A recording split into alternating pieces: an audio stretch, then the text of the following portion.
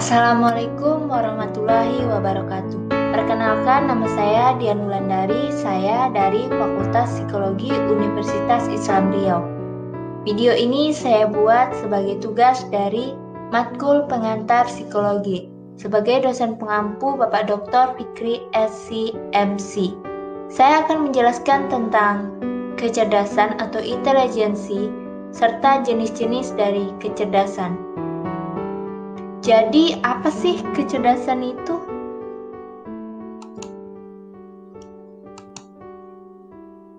Jadi, kecerdasan itu adalah proses dalam berpikir, juga memahami, juga menalar. Istilah intelijensi berasal dari bahasa Inggris intelligence dan Latin yaitu intellectus, intelligentsia, intelliger yang berarti memahami, menghubungkan atau menyatukan satu sama lain. Sedangkan menurut bahasa Yunani, itu berasal dari kata nous, kekuatan, dan gnosis, penggunaan kekuatan. Menurut KBBI, cerdas berarti sempurna perkembangannya atau budi seorang manusia untuk berpikir, mengerti, tajam pikiran, dan sempurna pertumbuhan tubuhnya. Jika dilihat dari definisi para ahli, mereka cenderung berbeda-beda dalam mendefinisikan intelijensi, tapi pengertian mereka dapat dikategorikan menjadi tiga jenis. Ada definisi yang bersifat kolektif. Kolektif ini definisi yang disetujui lebih dari satu orang, bisa dua, tiga, atau empat, atau bisa juga lebih. Definisi psikologis dan definisi research, definisi para peneliti di bidang artificial intelligence. Seperti umum yang kita ketahui bahwa kecerdasan itu jenisnya banyak. Saya hanya akan me memaparkannya sedikit yang saya ketahui, yaitu ada kecerdasan intelektual, intelligence quotient, atau kita mengenalnya sebagai IQ. IQ ini umum ya karena IQ dijadikan sebagai tolak ukur dalam perkembangan di bidang akademik.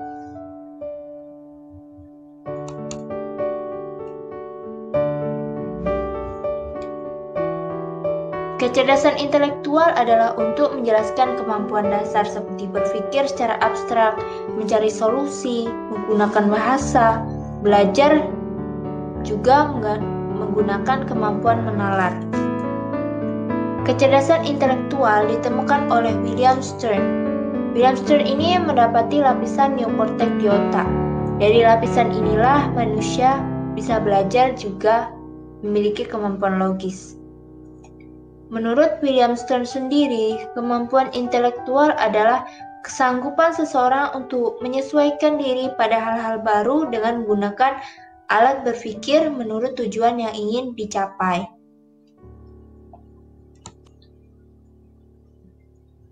Seperti definisi dari intelijensi, maka definisi dari kecerdasan intelektual itu banyak. Saya hanya mencantumkan dari beberapa tokoh beserta tentang teori dan tes mereka, yaitu ada dari Gunarsa. Menurut Gunarsa, intelektual merupakan suatu kemampuan seseorang untuk memperoleh ilmu pengetahuan dan mengamalkannya dalam hubungannya dengan lingkungan dan masalah-masalah yang timbul. Ada dari pendapat David Wechsler. Menurut David Wechsler, intelektual sebagai kumpulan atau totalitas seseorang untuk bertindak dengan tujuan tertentu, berpikir secara rasional, serta menghadapi lingkungan secara afektif. Pendapat selanjutnya datang dari Alfred Binet. Menurut Alfred Binet, intelektual adalah suatu kapasitas yang antara lain mencakup kemampuan menalar dan menilai, menyeluruh, mencipta dan merumuskan arah berpikir spesifik, Spesifik itu khusus, menyesuaikan pikiran pada pencapaian hasil akhir, serta memiliki kemampuan mengkritik diri sendiri, autokritik. Alfred Binet inilah yang pertama kali merintis tes IQ atau Mental Age pada tahun 1905 bersama rekannya T. Simon. Pada saat itu, Binet mendapat tugas dari pemerintah Prancis untuk mengetahui anak mana yang paling mungkin mengalami kesulitan di sekolah. Maka lahirlah tes IQ yang dinamakannya Binet Simon Intelligence Skill yang terdiri dari 30 item yang juga mengukur kemampuan fisiologis. Sebenarnya tes IQ sudah ada yang ditemukan oleh Francis Galton, tapi baru benar-benar dikembangkan setelah adanya penelitian dari Binet tadi.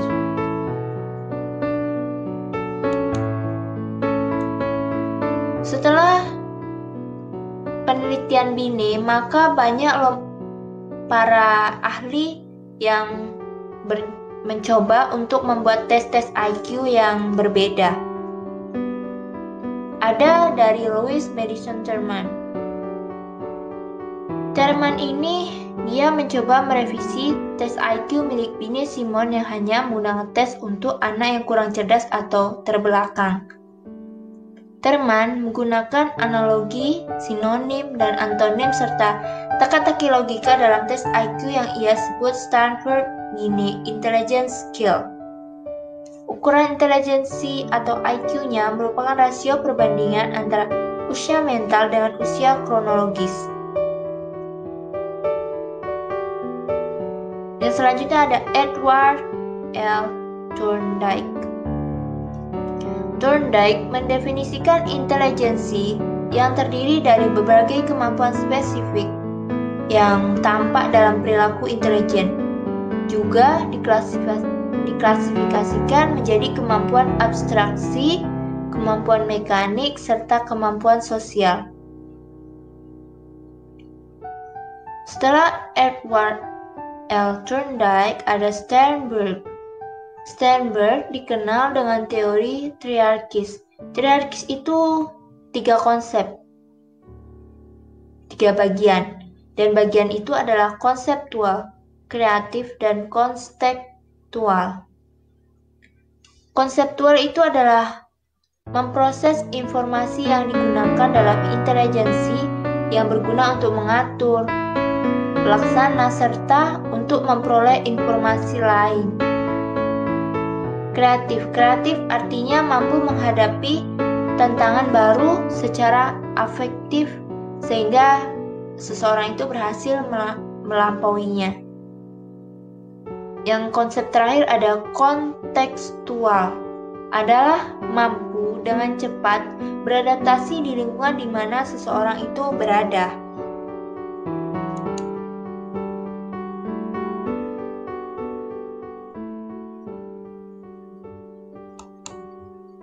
Ada juga dari Charles Spearman. Charles Spearman ini mengatakan bahwa intelijensi bukanlah kemampuan tunggal, melainkan terdiri dari dua faktor. Teorinya dikenal dengan teori intelijensi faktor atau bifaktor. Dua faktor itu adalah faktor yang bersifat umum, general, atau bisa juga disingkat dengan G, dan faktor spesifik atau disingkat S. Itu merupakan tingkah laku yang khusus.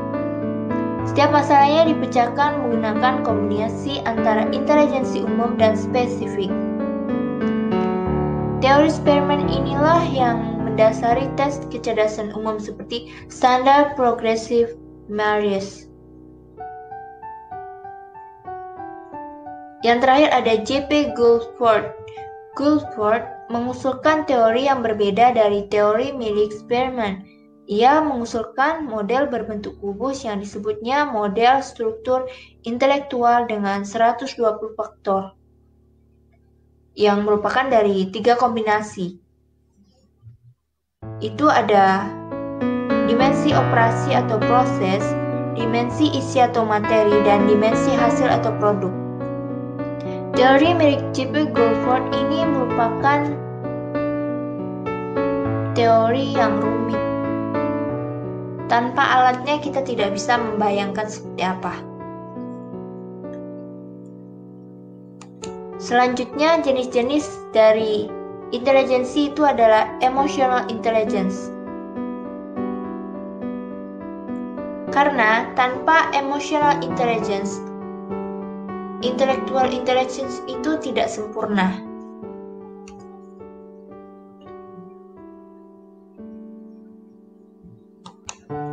Jadi, berdasarkan judulnya, emotional intelligence itu adalah kecerdasan yang berkaitan dengan pengambilan tindakan. Emosi sendiri berasal dari sebuah frasa yang berasal dari bahasa Latin, emovere, yang artinya bergerak, menjauh. Tambahan dari huruf E adalah untuk memberi kesan bergerak menjauh yang berarti emosi memiliki kecenderungan dalam mengambil tindakan.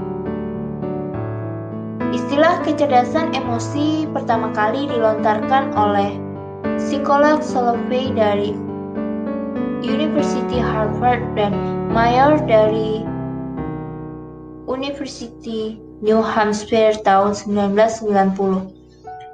Dua psikolog ini menjelaskan mengenai kecerdasan emosi sebagai suatu kemampuan atau intelijensi yang di dalamnya terdapat kemampuan untuk memahami perasaan diri serta orang lain. Jika dilihat dari KBBI, kecenderungan emosi adalah kecerdasan yang erat kaitannya dengan kepedulian dan hati baik antara sesama manusia dengan makhluk lain maupun alam sekitar. Salah seorang tokoh yang mendalami tentang kecerdasan emosi adalah Daniel Goleman. Menurutnya, emosi adalah hal yang rumit. Ia membuat identifikasi emosi meliputi rasa marah, rasa sedih, rasa takut, rasa nikmat, rasa cinta, rasa terkejut, rasa jengkel, juga rasa malu. Jadi, kecerdasan emosi bukan hanya ada dalam amarah seperti yang sering dianalogikan orang Indonesia. Jadi emosi adalah luapan diri. Menurut Daniel Goleman, kecerdasan emosional itu dapat dikenali melalui lima komponen. Ada self-awareness, pengenalan diri, self-regulation, penguasaan diri, self-motivation, motivasi diri, empati, juga effective relationship, hubungan yang efektif. Kecerdasan emosi itu dibentuk terutama di dalam keluarga. Setelah keluarga, berasal dari lingkungan sekolah, juga dari lingkungan di mana seseorang tinggal. Selanjutnya, untuk melengkapi kecerdasan intelektual dan kecerdasan emosi, maka ada kecerdasan spiritual atau spiritual kutin. Kecerdasan spiritual ini dicetuskan oleh Zohar. Kecerdasan spiritual ini dicetuskan oleh Dana Zohar dan Ian Marshall. Dana Zohar menjelaskan jika terdapat 10 kriteria yang digunakan untuk mengukur kecerdasan spiritual, yaitu ada kesadaran diri sendiri, spontanitas atau termotivasi secara internal, melihat kehidupan pada visi serta berdasar pada nilai-nilai yang fundamental. Fundamental itu tetap holistik, kasih sayang, menghargai terhadap keragaman, mandiri serta teguh melawan mayoritas, mempertanyakan hal secara mendasar, menata kembali di dalam gambaran besar serta teguh dalam menjalani kesulitan.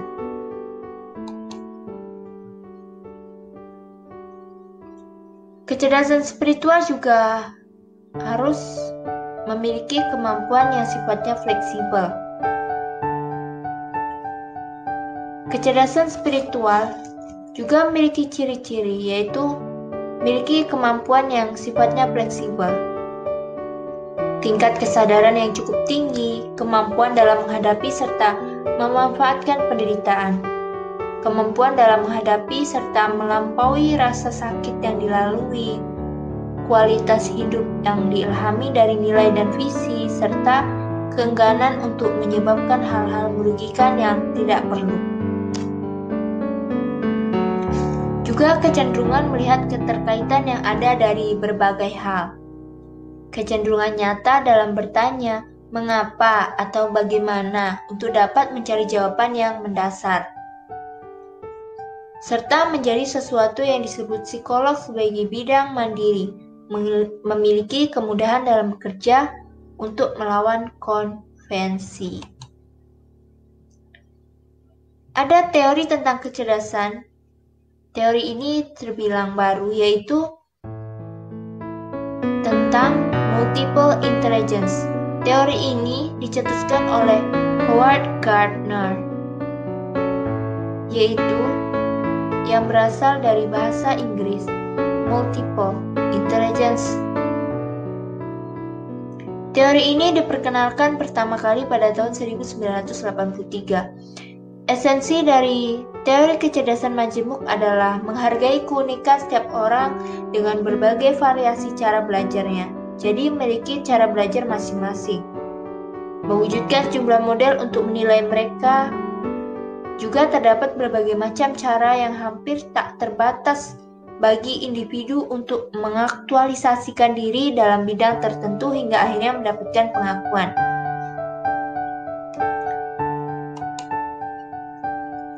Gardner membagi kecerdasan ini menjadi delapan. Itu ada kecerdasan linguistik. Linguistic intelligence itu kemampuan dalam membaca, menulis, berbicara, dan mendengar. Maksudnya seseorang yang benar-benar paham di dalam bidang membaca, menulis, berbicara, dan mendengar, atau istilahnya kita sebut sebagai bakat kecerdasan logika. Yang ketiga ada kecerdasan visual. Yang keempat ada kecerdasan gerak tubuh. Ini berkaitan dengan aktivitas atletik, menari, aktivitas fisik. Yang kelima ada kecerdasan musikal. Mereka memiliki kepekaan yang tinggi terhadap musik, vokal, dan yang keenam kecerdasan interpersonal. Itu digunakan untuk komunikasi. Yang ketujuh ada kecerdasan interpersonal. Itu peka dengan diri sendiri. Yang kedelapan kecerdasan naturalis. Jadi apa pun kecerdasan kita, kita tetaplah makhluk paling sempurna yang diciptakan Tuhan. Jadi syukurilah apa yang Anda punya. Sekian dari saya, terima kasih.